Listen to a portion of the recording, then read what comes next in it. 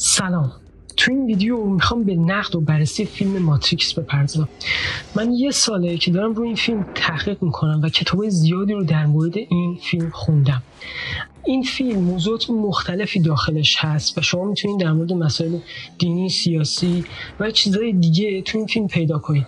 اما ما تو هر ویدیویی فقط به یه موضوع می‌پردازیم که ویدیوهامون طولانی نشه. تو این ویدیو می‌خوام به این بپردازم که ماتریکس از کجا شروع شده و شروع یا منشأ یا ریشه ماتریکس چیه؟ ویدیو دیگه ای که در مورد خود ماتریکس هست و اینکه ماتریکس چی هست اصلا و ماتریکس یعنی چی؟ اون ویدیو رو من اینجا لینکش رو می‌ذارم. اگه آماده این بریم گردن کلفترین فیلم تاریخ سینما رو بتر کنیم با من همراه باشیم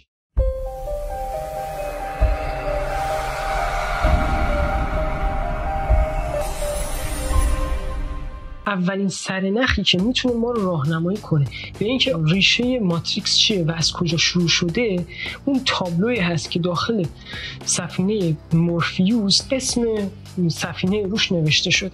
روی اون تابلو رو اگه دقت کنید اینجا در ابتدا نوشته مارک 3 نامبر 11 یعنی که مارک 3 شماره 11 و زیرش یه کلمه به نام نبوکت نزار یا همون نبوکت نصر. نوشته شده و بعدش هم باز یه تاریخی در مورد سال ساختش توی آمریکا داده شده. این یه نمادیه که تو فیلم به ما خیلی سرنخا رو میده.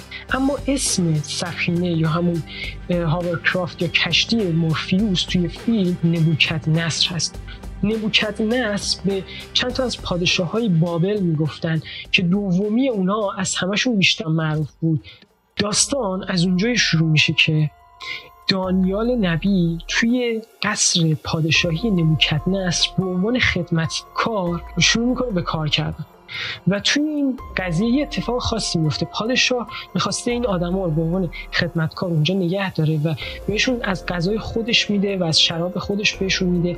ولی دانیال اینو قبول نمی‌کنه و من میگه و میگه که من از غذاهایی که پادشاه میده من نمی‌خوام بخورم. می‌خوام آیات دوازده تا 16 بخش اول کتاب دانیال نبی رو براتون بخونم. میگه که تمنا دارم خدمتگزاران خود را ده روز بیازمایی.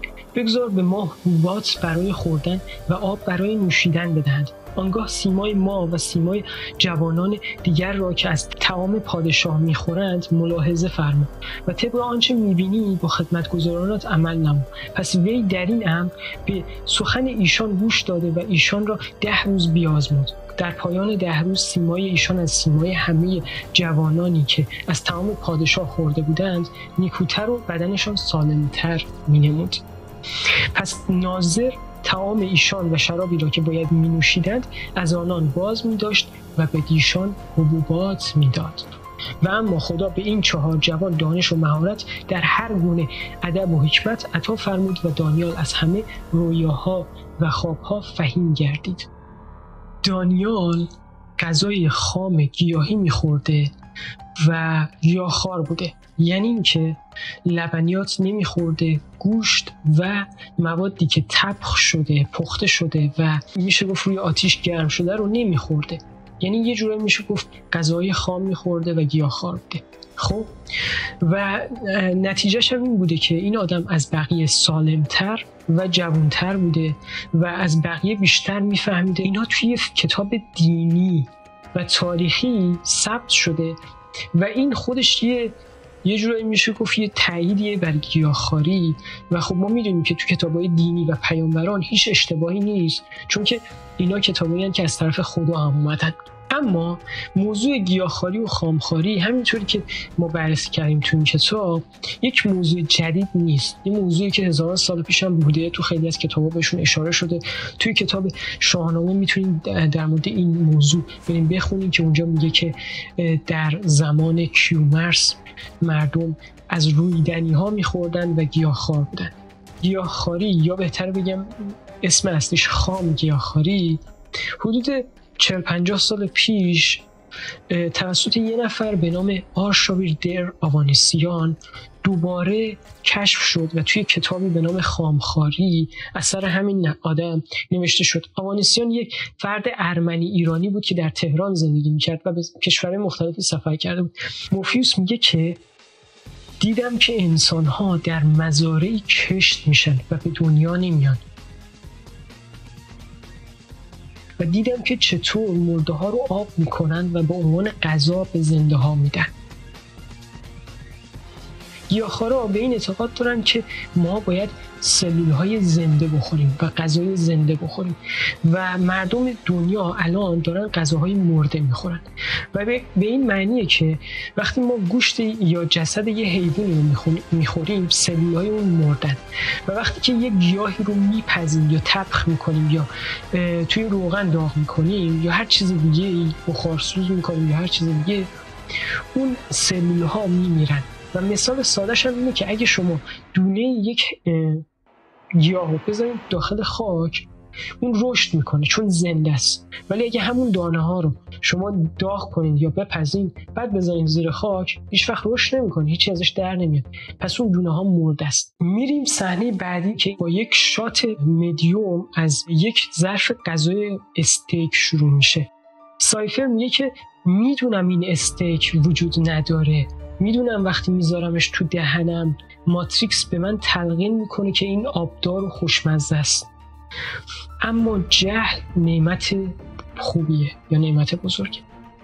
سایفر داره به این نکته اشاره می‌کنه که تو دنیای ما از رادیو تلویزیون از طریق ماتریکس دارن به ما اینو القا می‌کنن که گوشت برای ما مفیده و ما باید گوشت بخوریم. ما می‌دونیم که خیلی از گوشتخوارا سرطان می‌گیرن و گوشتخوارا بیماری های زیادی دارن. اما بازم از طریق رسانه ها هر روزه به ما اینو تلقین می‌کنن که گوشتخواری برای انسان ها مفیده. توی صحنه بعدی فیلم غذا خوردن گروه مورفیوس رو خارج از ماتریکس می‌بینیم. ساده ترین چیز توی سینما توی edit یه کات ساده است. وقتی دو تا صحنه با هم دیگه کات می‌خوره و کنار هم قرار می‌گیره یک ارتباطی بین این دوتا صحنه وجود داره. و editor و کارگردان فیلم هم این دوتا صحنه رو با قصد و نیت کنار هم گذاشته. یعنی شما می‌بینید که اول غذا خوردن داخل دنیای ماتریکس رو نشون میده و بعد غذا خوردن بیرون از دنیای ماتریکس. و توی دنیایی که مورفیوس توش زندگی می‌کنه رو نشون میده. و این دوتا صحنه رو پشت سر هم گذاشته. و اینا بیدلیل و بیمعنی نیست. این یعنی که این دو صحنه به هم ارتباط داره و دارن مقایسه این دوتا رو به ما نشون میدن. و میشه گفت این قسمت هم تقریبا میشه گفت وسط های فیلمه و میشه گفت یه جورایی نقطه عطف داستان فیلم به این ربط داره. ولی شاید تا حالا کسی به این موضوع نپرداخته. توی دنیای مورفیوس یعنی خارج از ماتریکس می‌بینیم که غذای اون بچه که با مورفیوس کار می‌کنن متفاوته و به این موضوع اتفاقا اشاره میشه. اونا سر این موضوع بحث می‌کنن و یکی از اونا به عنوان به نام موش یعنی اون پسر کوچیکی که باشون کار می‌کنه و بیشتر برنامه کامپیوتری می‌نویسه. حرف جالبی می‌زنه و سوال جالبی در مورد این موضوع می‌پرسه. میگه که چجوری ماشین می‌تونه بفهمه که این چیزی که ما داریم می‌خوریم سوپ جو یا مزه مرغ میده یا مزه گوشت میده یا مزه چی میده؟ چون ما که تا حالا اینا نخوردیم و ماشین هم اینا نمی‌دونه. حالا این یه مکالمه شاید تنظامیست توی فیلم باشه. ولی تو دنیای واقعیت بین گیاهخوارا این یه موضوع خیلی شناخته شده است. من یادمه که توی ایران توی تهران چند بار به انجمن گیاهخواری مهر زمین یا انجمن گیاهخواری خانم حسینی در تهران رفته بودم و این تجربه ها رو اتفاقا دارم از ایران. اونجا اولین چیزی که باش برخورد کردم این بود که منوی غذایی اونا توش نوشته بود که کباب مثلا گیاهی یا مثلا مرغ گیاهی یا مثلا غذاهایی که معمولا آدمای گوشتخوار می‌خورن و داخلش گوشت هست و اونا تو منوشون اینا رو داشتن. و من ازشون پرسیدم که مگه میشه مگه اینجا شما گوشت درست می‌کنید؟ گفتن که نه ما با ترکیب سبزیجات همون تم و مزه گوشت رو درست می‌کنیم تا کسایی که گوشت خورن و علاقه دارن به این تم و مزه بیان این غذاها رو استفاده کنن حالا خریداری کنن یا خودشون درست کنن. و این نکته که توی فیلم با تنز بهش اشاره شده که چطوری گیاهخوارا می‌تونن طعم گوشت طعم جوجه یا طعم مثلا کبابو بتونن با یه دستور دیگه تهیه کنن توی دنیای واقعی یعنی بین گیاهخوارا یه موضوع شناخته شده است و اونها همچین غذاهایی رو دارن و این خیلی جالبه و اینم باز دوباره از اون نکته هاییه که نشون میده این فیلم به گیاهخواری داره اشاره می‌کنه. سایفر توی یکی از صحنه‌های فیلم که داره خیانت می‌کنه به مورفیوس میگه که از این دنیایی که مورفیوس بر ما ساخته خسته شدم چرا به این یه آزادی؟ ما هر روز داریم یه غذای تکراری رو می‌خوریم. و این غذای تکراری که تو دنیای ماتریکس هر روز دارن این غذا رو می‌خورن با زندگی گیاهخوارا یه نسبتی داره. چون بعضی از گیاهخوارا توی یه تایم طولانی به خوردن یه غذا عادت می‌کنن و یه یه جورایی میشه غذاشون تکراری میشه. مثلا گیاهخوارایی هستن که هر روز به مدت طولانی فقط سالاد می‌خورن یا یه مدل میوه رو به مدت طولانی چند ماه می‌خورن. مشاور هامان به نئوم که درسته که ما باید به صورت طبیعی زندگی کنیم و نیازی به این ماشین ها برای زندگی خودمون نداریم. اما اگه به این قسمت از شهر نگاه کنیم می‌بینی که آب مصرفی شهر ما رو دارن همین ماشین ها تهیه می‌کنن و ما نمی‌تونیم خودمون رو از همه ماشین ها قطع کنیم. یه جورایی به این موضوع اشاره میشه که دنیای ما بعد از اینکه آدما گوشت خار شدن به یه دنیای صنعتی و ماشینی تبدیل شده و ما اگه بخوایم امروز یه دفعه برگردیم به اون نقطه صفری که همه گیاهخوار بودن و دنیا یه دنیای طبیعی بود و نیاز به ماشین نداشت. یکم سخته چون ما امروز برای تهیه انرژیمون برقمون و آبمون از خیلی از دستگاه های صنعتی و ماشین ها استفاده می‌کنیم. مشاور هامان به این موضوع اشاره می‌کنه و به نظر من می‌خواد به ما بگه که ما باید توی دنیای خودمون بین استفاده از ماشین ها در تمام جوانب زندگیمون و استفاده نکردن از اونا تو هیچ زمینه ای باید یه تعادل ایجاد کنیم.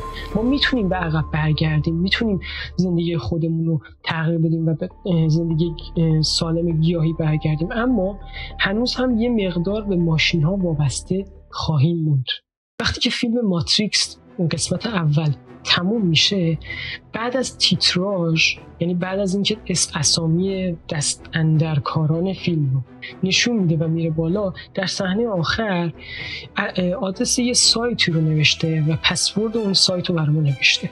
آدرس سایت این هست www.whatisthematrix.com پسورد استیک و معنیش اینه که www.matrixchist.com و بعدش هم پسوردش همون ظرف گوشتیه که سایفر توی فیلم خورده. به نظر من این تصویر توی آخر فیلم امضای هنری کارگردانه. کارگردان تیر خودش رو اینجا زده.